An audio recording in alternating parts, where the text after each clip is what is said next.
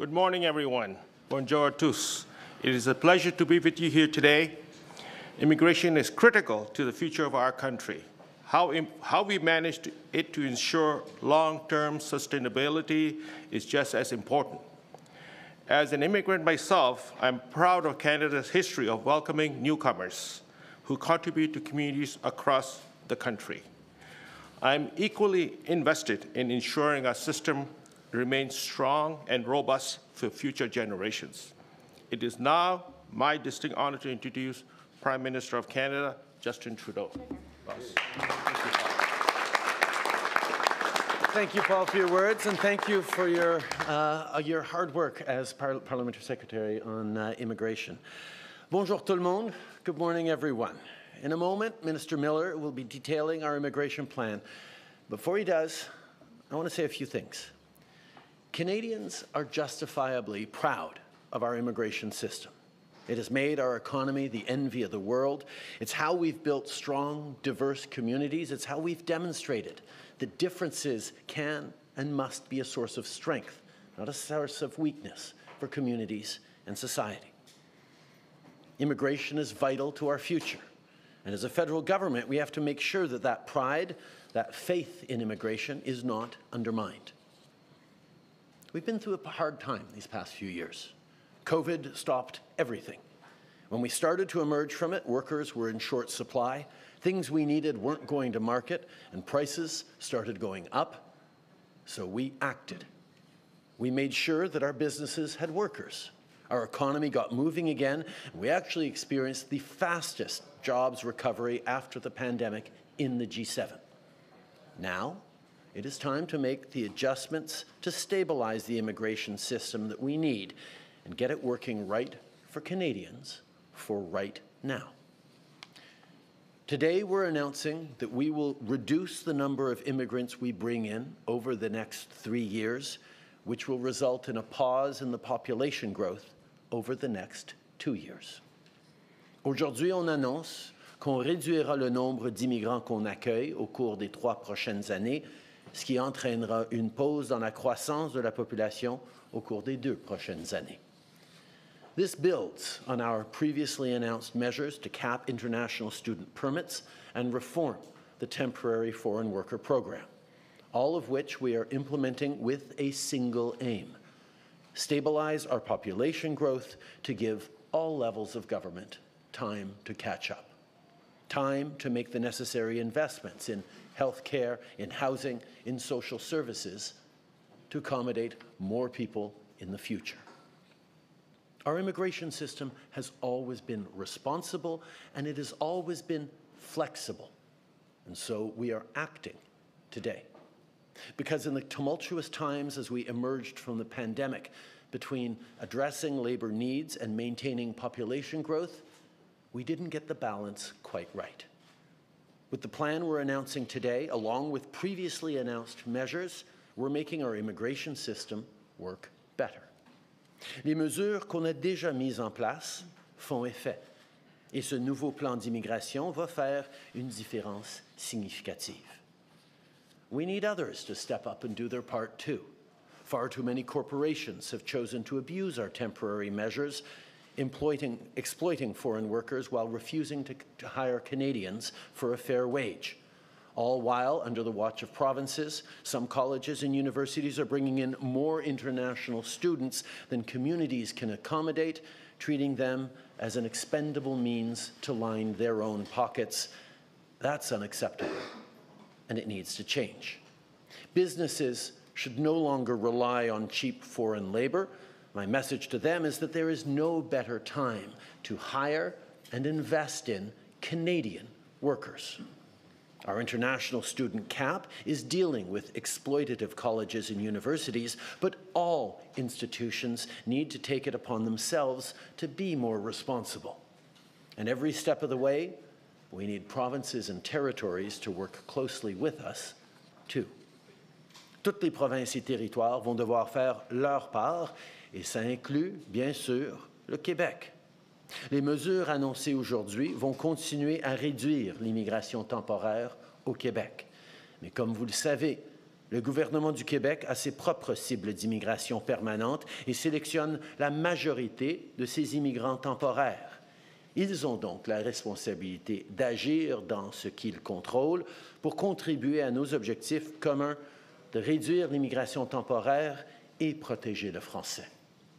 D'ailleurs, avec le plan annoncé aujourd'hui, on contribue aussi à la vitalité du français à travers le Canada en augmentant nos cibles d'immigration francophone hors Québec. Immigration is essential for Canada's future, but it must be controlled and it must be sustainable. With today's annual immigration plan, that is precisely what we're doing.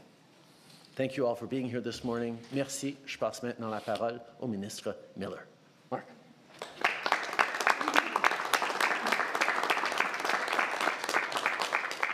Merci, Monsieur le Premier ministre. Bonjour tout le monde. Hi, everyone. Glad to be uh, here with you in Ottawa on the traditional territory of the Algonquin people. Um, I want to develop a little on what the Prime Minister just said. Uh, indeed, Im immigration is indispensable, has been indispensable to the creation uh, and the identity of this country, indispensable to its, to its future. Uh, as mentioned in our recent history, it, is, it was key to increasing our gross domestic product, net entrance into the workforce, particularly coming out of COVID, even going into COVID. We had labor shortages, um, provinces clamoring for uh, immigration measures to bring in more people, and we acted. We acted swiftly. Thanks to that, as the IMF has noted, uh, we prevented a recession, and I think that's important to realize when we look at some of the measures today to stabilize the immigration system. Um, ce qui est clair et ce que le Premier ministre a, dit très clairement, c'est qu'on est un pays qui a besoin d'immigrants, surtout avec euh, la réalité de la population aujourd'hui. Quand j'étais jeune, quand je suis né, le ratio de gens qui travaillaient versus les retraités d'à peu près 7 pour 1, on frise les 3 pour 1 aujourd'hui. Donc, il faut agir. La seule solution, dans le contexte, c'est une immigration contrôlée, bien gérée, notamment par le gouvernement fédéral. On est bien, conscient aussi des pressions euh, que ça a exercées, oui, sur les provinces, oui, sur la société civile. Euh, les défis que les économistes nous soulignent, oui, disent très clairement que l'immigration est importante. Il faut que ça continue de façon raisonnée. Mais évidemment, il y a un défi, défi sur l'abordabilité, débit, défi sur nos, infrastructures, que ce soit les, la santé, que ce soit euh, les écoles. C'est clair qu'il faut un système d'immigration qui est bien arrimé aux demandes et à la capacité des provinces, du gouvernement fédéral de réagir, surtout avec les flux importants qui sont venus ici ces dernières années. I'll cut straight to the chase when it comes to permanent immigration targets. Uh, this plan is probably the first of its kind so far as, as, it integrates and responds to a lot of criticisms that we've received in the past.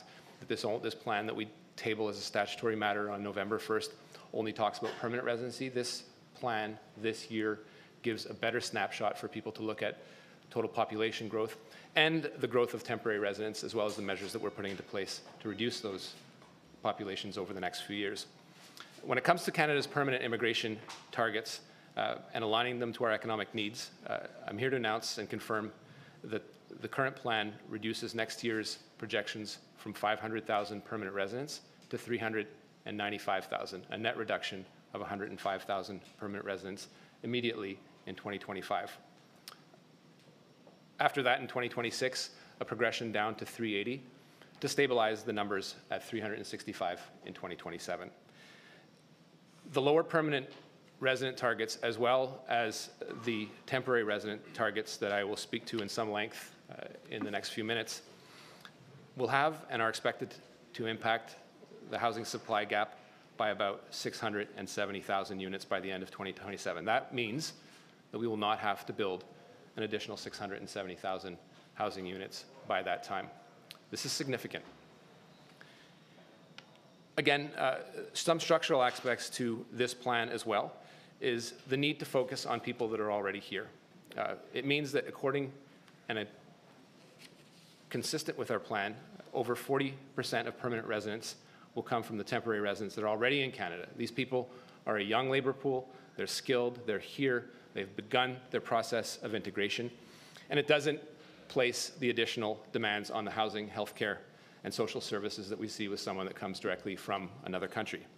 It makes sense. We have a large pool. Uh, there are ways to integrate that highly talented pool into the permanent residency population. Adjustments will be made to our economic immigration streams to prioritize that transition of workers already here uh, and focus on the labor and be responsive to the labor market needs. But for that, we need provinces to move forward and come forward with their data and tell us their needs. Uh, the federal government has an understanding of what those needs are. It is a sophisticated one, but it isn't the only voice in this. And provinces have a responsibility to come to us and tell us what those needs are. Les Canadiens et Canadiennes, évidemment, sont fiers de cette réputation de leader de pays, évidemment, en matière de réinstallation des réfugiés. Euh, bien que nos cibles concernant la réinstallation de réfugiés soient réduites en raison des réductions globales que nous effectuons aujourd'hui, notre engagement envers certaines personnes les plus vulnérables du monde demeure. Il est également important de réunir les familles et les proches, y compris les conjoints, les enfants, les parents, les grands-parents. C'est pourquoi nous continuons à allouer près de 24 de l'ensemble des admissions de résidents permanents à l'immigration familiale en 2025.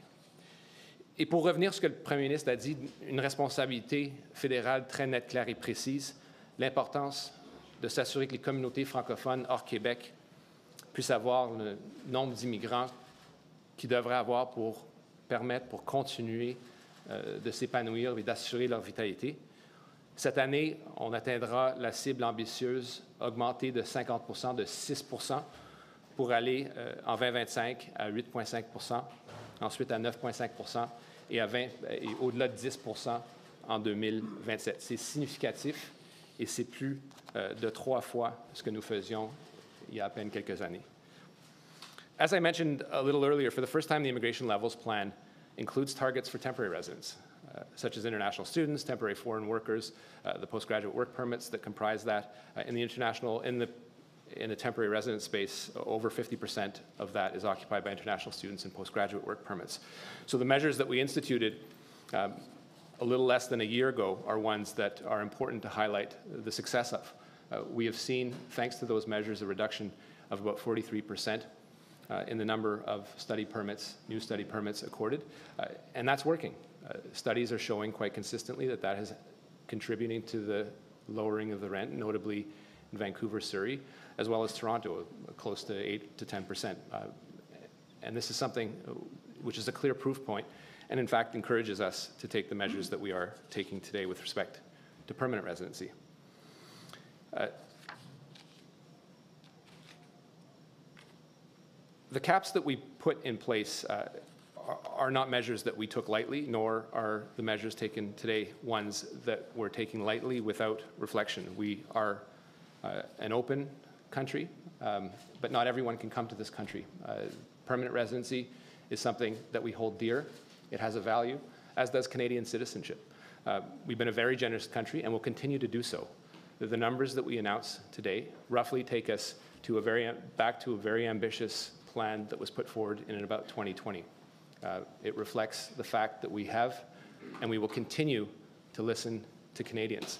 Uh, that's something that's important because uh, the people standing behind me today are people that have been speaking to their constituents, have been speaking to uh, economists, have been speaking to uh, universities and institutions, uh, and listen, listening to their own families. And they've said consistently that while we are still and continue to be an open country, uh, that volume of that we have put forward is something that is of concern. And, and indeed, the latest Environics poll says as much. Uh, there are limits to governing by poll, um, and this is something that uh, took some reflection over the last year.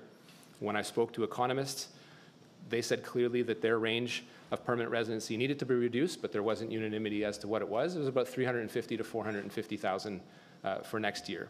Uh, this is somewhere in the middle, and I think it respects a responsible plan to grow immigration, while the net effect is a pause on the population growth.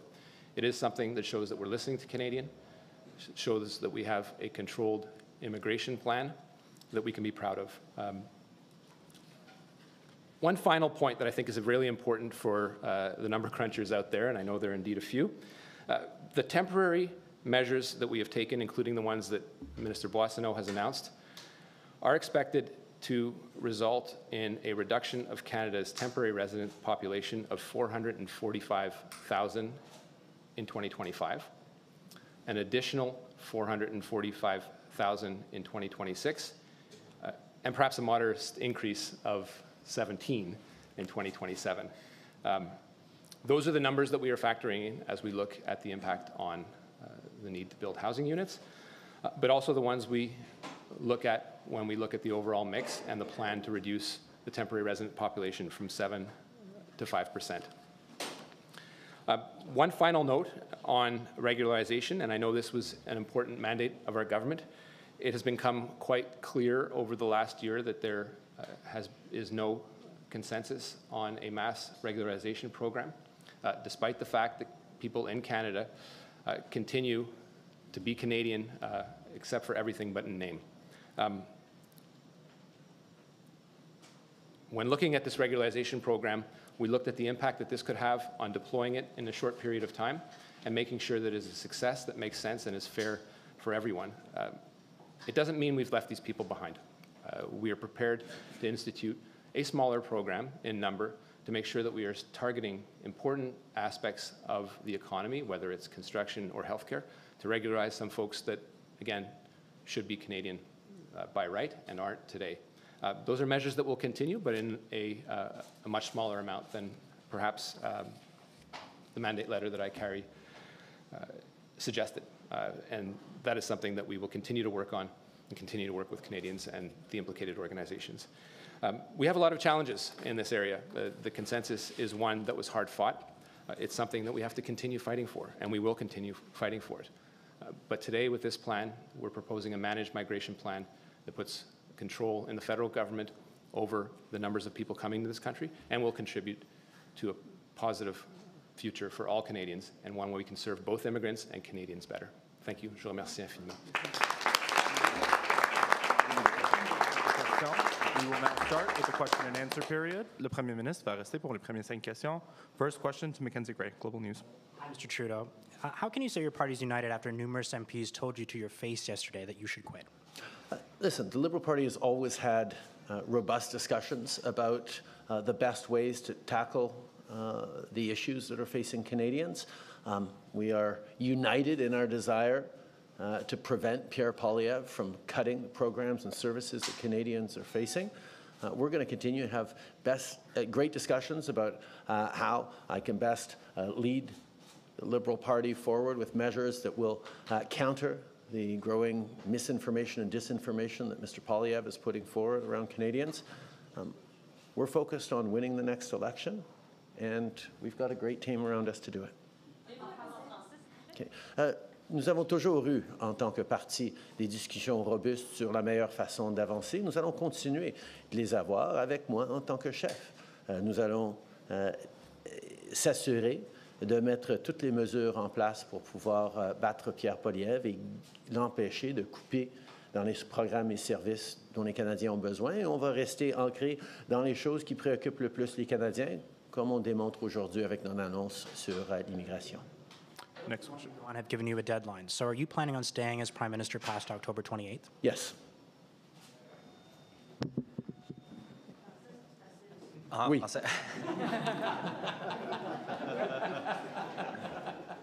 C'est clair. Okay. Um, in this uh, situation, we've heard that you've been listening, you've been reflecting, you listened in the caucus to the, the dissent that, that people voiced yesterday. At what point do you shift from listening, if this continues and the dissent continues and people continue calling for you to go, shift from listening to doing something? You've kicked people out of caucus before. Is that something that you're willing to do if this continues? Unlike the Conservative Party of Canada, we have robust conversations within our ranks about the best way to move forward. Um, I, I have a, a hard time believing that all Conservative MPs are fully supportive of uh, having had one of their members uh, get an all-expenses paid trip down to Florida for an extreme right-wing anti-abortion church. Uh, I have a hard time believing that all Conservative MPs are fine with a member of their front bench dining with neo-Nazis uh, over, uh, over the past years. I have a really hard time believing that all Conservative members are perfectly fine with their leader politicizing issues around national security, but refusing to get a uh, security clearance to be able to actually deal with foreign interference. Um, In the Liberal Party, we talk amongst ourselves. We share our perspectives. We're open about our united desire to make sure that Pierre Poilievre doesn't get the chance to cut the programs and services that Canadians are relying on in this time of affordability crises. So, yeah, we're going to continue to have great conversations about what is the best way to take on Pierre Poilievre in the next election. But that'll happen with me as leader going into the next election.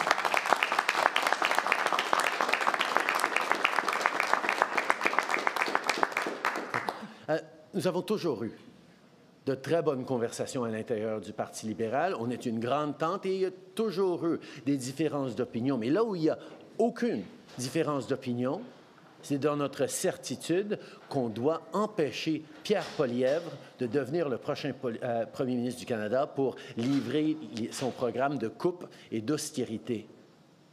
Mais nous, on a des discussions ouvertes à l'intérieur euh, du Parti libéral contrairement aux conservateurs. Je suis certain qu'il y a bien des conservateurs, députés conservateurs, particulièrement au Québec, qui ne sont pas du tout d'accord avec le fait qu'un de leurs collègues est allé en Floride pour, euh, avec, euh, euh, payé par une église d'extrême droite anti-avortement. Mais ils n'en parlent pas. Je suis certain qu'il y a plusieurs conservateurs qui sont très mal à l'aise avec le fait qu'une un de leurs députés a, euh, soupé avec des membres néo-nazis d'extrême droite euh, de, de l'Allemagne, mais ils ne lèvent pas la voix. Et je suis certain aussi que tous les députés conservateurs qui sont préoccupés par euh, l'ingérence étrangère et les enjeux de sécurité nationale sont aussi perplexes que tous les Canadiens que leur chef refuse encore d'obtenir une cote de sécurité pour qu'ils puissent obtenir les informations confidentielles nécessaires pour protéger son parti et son pays contre l'ingérence étrangère. Mais contrairement aux conservateurs, nous, on est ouvert dans nos discussions et, dans nos désaccords des fois, mais je peux vous dire qu'on va continuer de discuter ensemble des meilleures façons de se positionner et pour livrer pour les Canadiens, y compris avec des mesures comme on fait aujourd'hui. Mais on va avoir toutes ces conversations-là avec moi en tant que chef de l'immigration, c'est quand même dans l'ADN du Parti libéral, l'immigration. Vous avez souvent dit que c'est le socle de l'économie. Lorsque les États-Unis ont, fermé la porte à certaines classes euh, d'immigrants, vous avez dit ben, bienvenue au Canada. Euh, d'arriver aujourd'hui puis d'annoncer une baisse comme ça euh, du nombre d'immigration des immigrants, est-ce que c'est pas un, constat d'échec? Et puis est-ce que ça arrive pas un peu trop tard? Non, au contraire. Tout d'abord, on sait que les Canadiens sont encore savent encore que l'immigration est positive pour notre pays. Mais on a un système d'immigration qui est robuste, qui est rigoureux, mais qui est aussi flexible, qui, bien des fois dans le passé, a été ajusté en fonction des réalités du terrain. Et le meilleur exemple, c'est pendant la COVID, on a fermé nos frontières pendant un long moment parce qu'on devait protéger la santé, le bien-être des Canadiens. À la suite de la COVID, on a rouvert nos frontières, on a dû accueillir plus de gens pour combler euh, les, euh, les, défis au niveau de la pénurie de main-d'œuvre. Mais si vous vous souvenez, pendant la COVID, on était toujours là pour ajuster le tir. On a annoncé des mesures qu'on a ajustées quelques mois plus tard. C'était une crise sans précédent qui a exigé qu'on réponde. Et c'est exactement ce qu'on est en train de faire maintenant. Dans les années qui ont immédiatement suivi la COVID, euh, on a euh, accueilli beaucoup de gens pour permettre à notre économie de se remettre sur pied. Et maintenant, on dit la situation a changé. C'est le temps de restreindre l'immigration de façon pragmatique pour que, une fois que la société s'est rattrapée au niveau des infrastructures, des institutions, avec notre nouvelle population, on va pouvoir continuer à croître la population, on va continuer d'être le pays euh, qui euh, sait très bien que l'immigration est essentielle pour l'économie et pour euh, le bien-être de tous les Canadiens. I think one of the things that has ensured that Canadians have and continue to have confidence in our immigration system is that we have a robust, responsible immigration system that is also flexible. There have been many times over the past years and decades that Canada has adjusted its approach on immigration. Just think about the pandemic, for example, where we stopped immigration. We closed our borders for a long stretch in order to keep Canadians safe, to respond to the crisis we were going through at that moment. What that meant was once the pandemic uh, closures were done, we had significant labor shortages. We needed to get our economy rolling again. We listened to business, we listened to colleges and universities, and we boosted the number of people coming into this country. That was a response to the COVID slowdown and shutdowns. But now our economy is in a different place. We've seen massive economic and massive population growth over the past years, particularly in the area of temporary workers and temporary residents. And we are now saying, okay, we need to let our communities, our, our, our infrastructures catch up to the population. And that's why we're pausing population growth by reducing immigration numbers for the next two years so we can get back pragmatically to a place where Canada can once again grow the way we all know we're going to need to in the coming decades. But getting things back under under the, uh, uh, to a responsible level is something that a responsible government does. It's certainly something we did lots of times during COVID when we put forward a measure and realized, okay, a few weeks later, a few months later, we needed to adjust it or end it or shift it. This is still echoes of um, a, a, pandemic that continues to have impacts uh, on what we're doing. Boris Prou, Le. Monsieur le Premier ministre, le Québec demande depuis des années de, baisser le seuil d'immigration. Pourquoi avoir attendu que cette critique-là vous provienne d'autres provinces et du Canada anglais? Au contraire, euh, on travaille avec Québec depuis euh, bien des années pour euh, restreindre le numéro d'immigrants temporaires au Québec, pour reconnaître que les Québécois font plus que leur part par rapport aux demandeurs d'asile, par exemple, mais je dois encore une fois souligner que le gouvernement du Québec fixe ses propres seuils en immigration et le gouvernement du Québec contrôle plus que la moitié des immigrants temporaires qui arrivent au Québec. Et ça fait maintenant des mois que j'ai demandé au premier ministre Legault son plan pour réduire l'immigration temporaire au Québec, puisqu'il en contrôle plus que la moitié. Et j'attends encore le plan de M. Legault. Donc, il est là pour euh, parler des responsabilités du gouvernement fédéral qu'on assume, qu'on a assumé en réglant la question du, euh, chemin Roxham, qu'on a assumé avec l'ajustement au niveau des, étudiants internationaux, euh, qu'on a assumé au niveau des réductions des seuils d'immigrants temporaires pour les grandes villes et pour le Québec. M. Legault, lui, il doit assumer ses responsabilités en rapport d'immigration temporaire. J'attends son plan.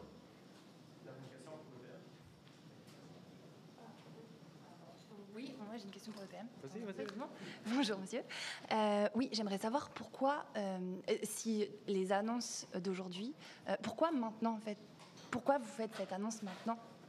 C'est ça. Bien, à chaque année, le gouvernement fédéral doit mettre pour le premier novembre, doit mettre de l'avant euh, un plan pour l'immigration permanente au cours de la prochaine année, au cours des trois prochaines années. Or, dans l'histoire du pays, ça a toujours été des annonces sur les résidents permanents qui ne n'incluaient pas, qui ne réfléchissaient pas, qui n'annonçaient rien par rapport aux immigrants temporaires, c'est-à-dire euh, des étudiants internationaux, des visiteurs, des travailleurs temporaires. Pour la première fois, en annonçant les seuils de résidents permanents pour l'année prochaine, le ministre inclut nos attentes par rapport aux immigrants temporaires. Et on est en train d'annoncer une réduction. Et ça, ça va permettre aux jeunes Canadiens de trouver plus d'emplois. Ça va exiger que euh, des entreprises canadiennes augmentent la productivité, embauchent plus de Canadiens, investissent dans les Canadiens. Et ça va nous permettre de rattraper, avec notre logement et nos services, euh, le niveau de la population à laquelle on se trouve maintenant. C'est une pause responsable et pragmatique qui va nous permettre de continuer d'être euh, le pays qu'on est et que les Canadiens puissent continuer d'avoir confiance dans notre système d'immigration. Merci, Premier ministre. Merci Mr. Miller will stay back and take questions. Reste. Thanks, guys.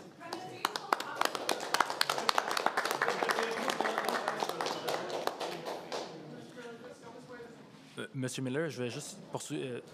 euh, C'est là que j'attends. Les gens. Ben, je veux pas, je veux pas. Ça pourrait être. Tu veux, tu veux nous chasser?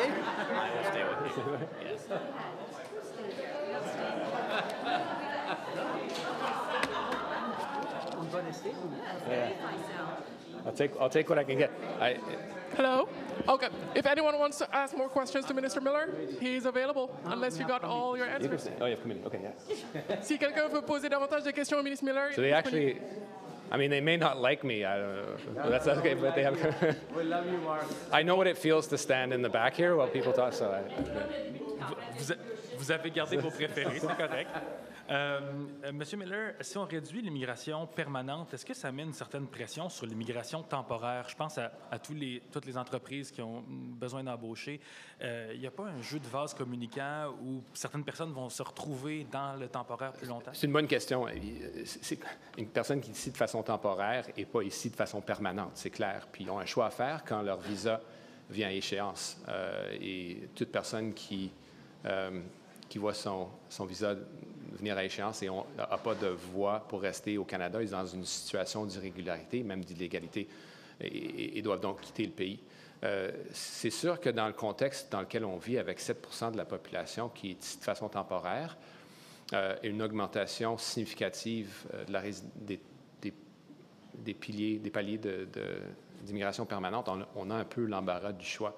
On a beaucoup, euh, on a un défi significatif, euh, je pense qu'il y a beaucoup de pays qui nous envieraient la situation dans laquelle on se trouve, mais on peut sélectionner des gens qui sont très talentueux, qui ont des très hauts scores dans les sélections euh, que le gouvernement fédéral fait pour avoir accès à la résidence permanente, pour, aller- euh, puiser et piger des gens qui sont super qualifiés, qui devraient être ici, puis sont jeunes, sont éduqués, ont un début d'intégration après avoir suivi des cours de deux, trois ans ici au Canada pour être des résidents permanents. Alors, c'est un, un bon choix à faire. Mais oui, euh, il y a un défi de, de, de vase communicant, euh, évidemment, avec la restreinte de l'accord des visas qui va s'effectuer au courant des trois prochaines années. Ça va résulter, euh, ça va avoir le résultat d'abaisser cette population qui est ici de façon temporaire de 7 à 5% comme on l'avait visé et annoncé en début d'année. Bonjour Monsieur Miller. Euh, J'aimerais savoir à quand le, le rétablissement euh, des- du poids démographique des francophones en dehors du Québec à 6,1%, comme c'est euh, fixé dans la loi sur les langues officielles, puisque on voit que euh, les études montrent que euh, la- la- les cibles actuelles ne sont pas réparatrices. Donc, Ben, est-ce que vous pouvez garantir que les chiffres Ça dépend des prémices avec lesquelles on, on- on travaille. Si, si on se dit qu'il n'y a aucune augmentation de la population francophone en dehors du Québec et qu'on se dit que l'immigration est l'unique façon de rétablir ce poids, je pense que ça mène à plusieurs autres questions. C'est clair que le gouvernement fédéral a failli à son obligation dans le passé d'avoir des taux qui étaient respectueux de ce désir de rétablir ce poids démographique. Souvenez-vous que de peine et de misère, on a rencontré le 4,1% Là, on est rendu à 6 cette année. C'est quand même 50 de plus. On vise le 10 dans, dans trois années. C'est beaucoup de personnes dans des communautés qui sont, qui sont somme toute assez petites. Il y a des défis d'intégration. Je les ai vus moi-même. Euh, il y a des défis d'arrimer ces gens-là avec des boulots, du travail dans les communautés pour pas qu'ils euh, migrent par la suite de façon secondaire à Montréal ou à, à- à d'autres places où le français prédomine, mais ça ne contribue pas à l'épanouissement du français hors du Québec. Donc, oui, il y a le défi de l'immigration. C'est clair, c'est sûr. Le 10% est très ambitieux pour un gouvernement qui n'a jamais nécessairement rencontré même le 4 Là, depuis quelques années, on est de 4% de deux années de suite et ensuite 6 il y, a une- il y a un défi de logistique. Et puis, la chose que j'aimerais surtout pas faire, c'est d'induire les gens en erreur. Donc, on y travaille. Euh, on continue, euh, on continue de pousser très fort pour s'assurer qu'il y ait des ressources pour ces gens-là pour s'établir dans des communautés francophones euh, qui sont, comme je l'ai dit, souvent très petites, euh, et de relever des défis qui relèvent aussi des provinces dans le domaine de l'éducation, dans le domaine, évidemment, euh, de, l'habitation, les soins de santé. Et c'est des défis qui vont continuer. Mais l'immigration, ce n'est pas la solution à tout, mais c'est une des grandes solutions et c'est une des responsabilités qui m'incombent de façon très profonde.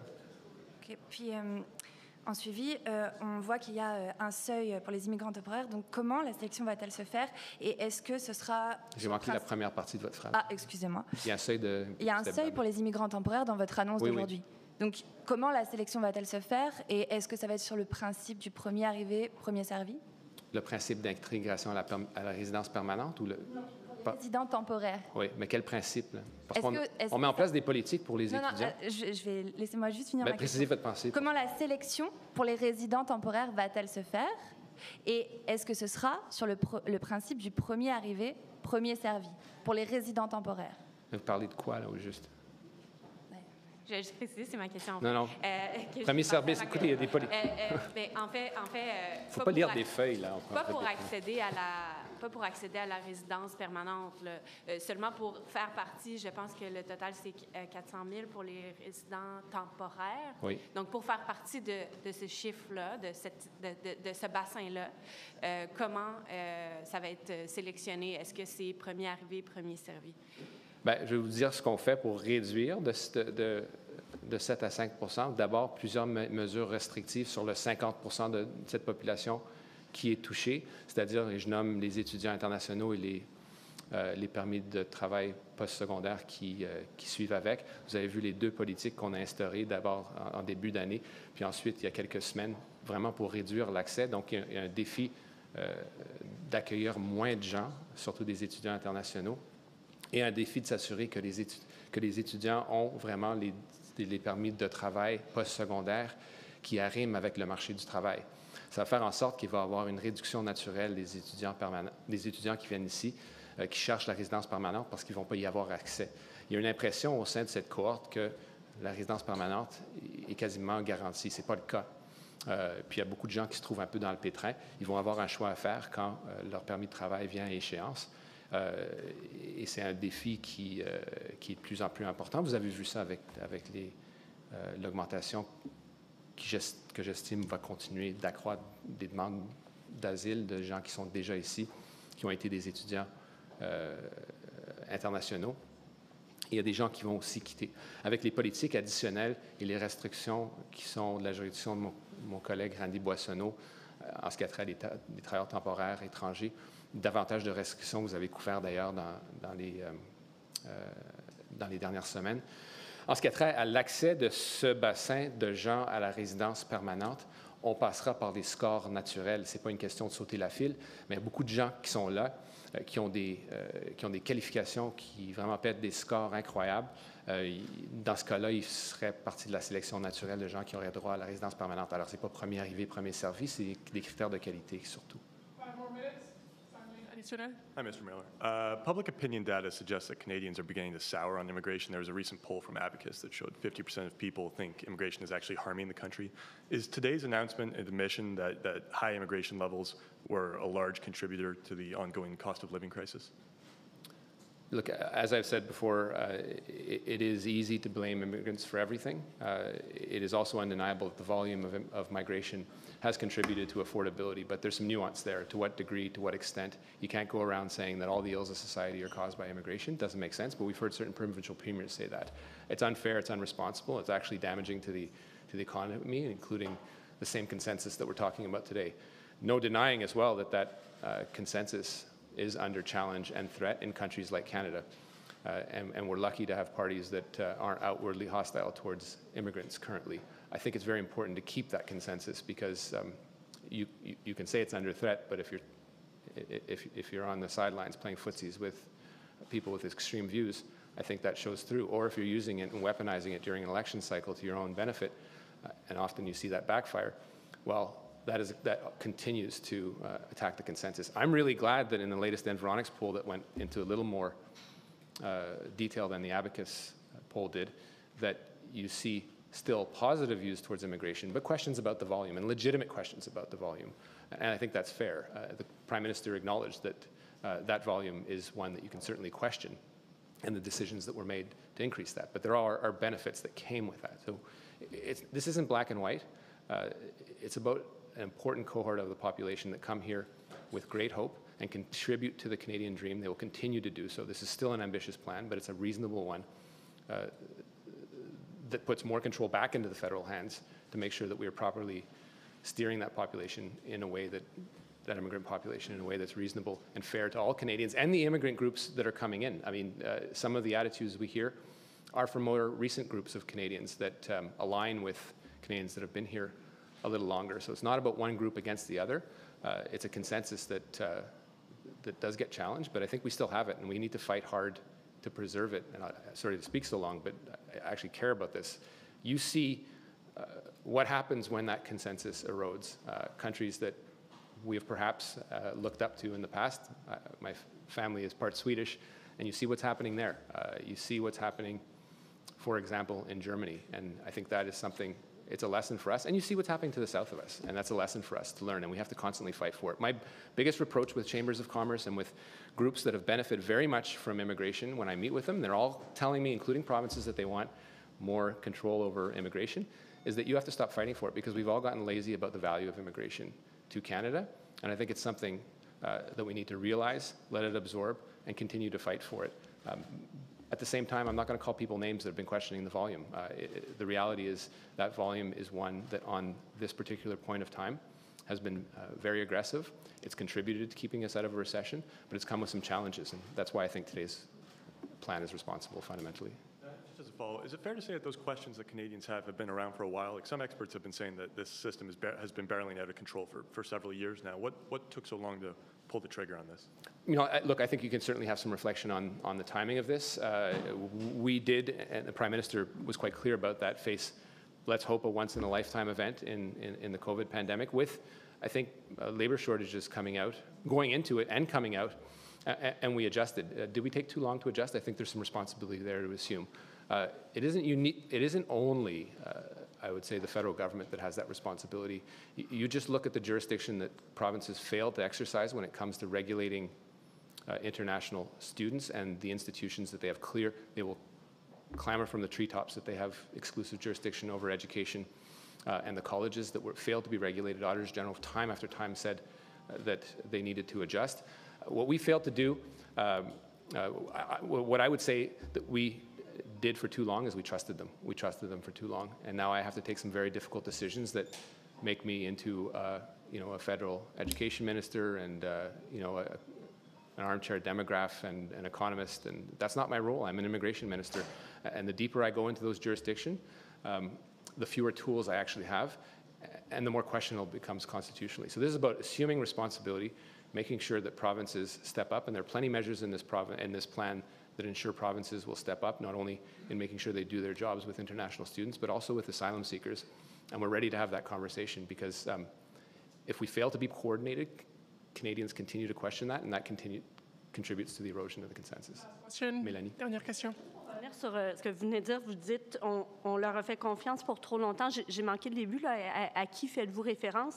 Mais ma question, c'était plutôt sur la, pénurie de logements. Vous avez longtemps dit que l'immigration était en quelque sorte un remède pour pallier la, pénurie de, logements. Qu'est-ce qui a changé? À quel moment? Où a été le point de rupture, de, que vous avez identifié? Euh, ce que j'ai dit euh, en ce qui a trait aux, provinces puis leur gestion des écoles secondaires, post-secondaires, des collèges, c'est qu'on on leur a fait confiance trop longtemps dans leur mauvaise gestion dans plusieurs provinces de, ce problème qui, qui, de taille maintenant. Ça aurait dû pas être le cas. On le voit avec le nombre des demandeurs d'asile, puis c'est une responsabilité qu'ils doivent assumer, qu'ils vont devoir continuer d'assumer. C'est n'est pas juste de constamment blâmer le gouvernement fédéral, surtout s'ils revendiquent cette même juridiction euh, qui, ont, euh, qui, ont, refusé d'exercer. Euh, en ce qui a très, ben, ce que j'ai dit à votre collègue, clairement, c'est que le volume euh, a affecté évidemment l'abordabilité, qu'on parle du coût du logement, euh, le parc locatif. mais quand même, c'est une question de nuance. On ne peut pas tout blâmer euh, ou mettre sur les épaules des immigrants. Le sous-investissement en logement au niveau fédéral se fait depuis 30 ans. Euh, c'est uniquement ce gouvernement, depuis 2015, qui a investi dans le logement. C'était même dégagé de cette responsabilité sous le gouvernement Harper. Vous avez bien entendu euh, mon collègue Jean-Yves Duclos en Chambre dire que Pierre Poliev en a construit six euh, sous son contrôle du ministère. mais ça fait depuis 30 ans. Puis même les gouvernements libéraux dans le temps aussi. on a mis beaucoup d'argent à la disposition des provinces pour investir dans le parc locatif, euh, dans le logement, le logement abordable surtout. Euh, mais la réalité aussi, c'est que l'abordabilité était affectée par l'augmentation des taux d'intérêt. Pendant 20 ans, on n'a pas dû euh, payer trop, trop sur, sur notre hypothèque. Là, ça, ça, commence à se faire sentir. Ce n'est pas à cause des immigrants que c'est arrivé. Si c'était à cause des immigrants, on féliciterait les immigrants pour la baisse du taux qui a été effectué hier. Vous n'avez pas entendu ça, ça passe public. Donc, je pense que c'est un débat qui est nuancé, euh, mais je n'irai jamais que le volume euh, auquel, euh, qui a été bénéfique pour le Canada a eu des impacts sur l'abordabilité et notamment le logement, que ce soit au Québec ou ailleurs au pays. Vous avez parlé, je pense, de 24 de, de, la portion de l'immigration permanente pour la réunification familiale. Pouvez-vous donner les chiffres pour ce qui est des, des réfugiés? Puis euh, comment est-ce que ça marche? Est-ce que vous avez, ben, où on en est par rapport à nos obligations internationales dans cette matière-là? Puis comment ça fonctionne? Est-ce que vous avisez, par exemple, le Haut-Commissariat des Nations Unies pour les réfugiés? C'est une très bonne question. Euh, je les ai un peu en tête. Le volet purement économique se situe à peu près 59 pour l'année prochaine. Le volet réunification familiale à 24 Puis le reste, c'est le volet humanitaire. Il y a des coupes dans toutes, euh, dans toutes les enveloppes ce qu'on essaie de faire surtout, c'est de respecter les obligations publiques qu'on a faites, euh, tout en ajustant un peu le, tir. Euh, on a fait beaucoup, beaucoup d'engagements publics, puis je critique personne de les avoir faits. Je m'en voudrais si on ne les avait pas faits, mais envers l'Afghanistan, envers l'Ukraine, envers les Palestiniens et envers les Syriens, dans des volumes extraordinaires, surtout pour un pays comme le Canada mais il ne faut pas nier non plus que ça a eu un impact. Et donc, de bien pondérer, de bien regarder et d'aller à travers cet exercice intellectuel, euh, de regarder où on peut faire ça de façon euh, juste, sans compromettre nos valeurs humanitaires. Ça a été un peu le défi de ce plan qui se tisse depuis un an. Donc, il y a des coupures partout, mais je pense de façon raisonnable, qui respectent nos engagements à l'international. I can go Rafi if you want. I can go. Oh, okay. Okay. He wants it in English. Doesn't count as a question. uh, uh, what was the question? I, my brain doesn't work that way, like with the language. categories uh, where you're cutting and your obligations. Yeah, yeah. Look, uh, Rafi, to, to, to, Melanie's question is a really important one. Uh, this plan for the next year has an economic envelope that is about at 59%. Uh, the family reunification one is at 24%, and the rest is uh, humanitarian. There have been cuts uh, relatively proportional in, uh, in all areas. Um, what we certainly wanted to do uh, is to make sure that we were respecting our humanitarian commitments. They are significant. Um, conscious of the fact that we have made a lot of commitments over the last few years, and they are ones that are not only, and I think they're the right ones to do, but they do cost a lot of money because you're taking people from a trauma situation. It costs a, tremendous amount of, amount of money to resettle someone. Um, it's the right thing to do, but we've made really important commitments to Afghanistan, which we've exceeded. We're now at 53,000, whereas we had publicly targeted 40. Um, we've welcomed Ukrainians in an unprecedented amount. We've welcomed Syrians in an unprecedented amount, uh, and other programs, including the Gaza program. Uh, that does have an impact on our ability, and we can't deny that, but our ability to, uh, to act in other areas. Uh, and those are the difficult compromises we need to make. My effort in making this plan was to make sure that it respected our public commitments and do it at a pace that, um, that lived up to the expectations of Canada. But again, uh, this is, uh, these, these are difficult choices, but they're ones I think I don't think Canadians would forgive us for if there were radical cuts in, in that because they've demanded election upon election, and usually during an election that we act. We've made those commitments, and it's important for us to respect them. Thank you.